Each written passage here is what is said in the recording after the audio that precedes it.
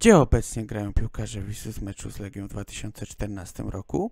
Michał Miśkiewicz w ubiegłe lato zakończył karierę. Jego ostatnim klubem była Wieczysta Kraków, gdzie obecnie jest trenerem bramkarzy. Łukasz Burliga i Łukasz Garguła występują na poziomie piątoligowym, czyli czwartej lidze.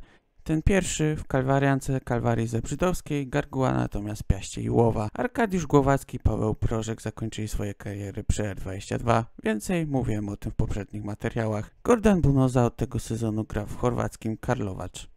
Dariusz Dudka jest jednym z członków sztabu szkoleniowego w Lechu Poznań, Emanuel Sarki od ponad roku jest bez klubu, Ostoja Stjepanowicz niespełna 3 lata temu zakończył karierę w serbskim Radzie Belgrad, Michał Nalepa jest jedną nogą w pierwszej lidze z Lechią Gdańsk. A Semir Stilic aktualnie gra w bośniackim Zelje Zniczar, gdzie w obecnym sezonie zaliczył 25 występów, strzelił 5 goli i ma 9 asyst. Mecz zakończył się wynikiem 2 do 2.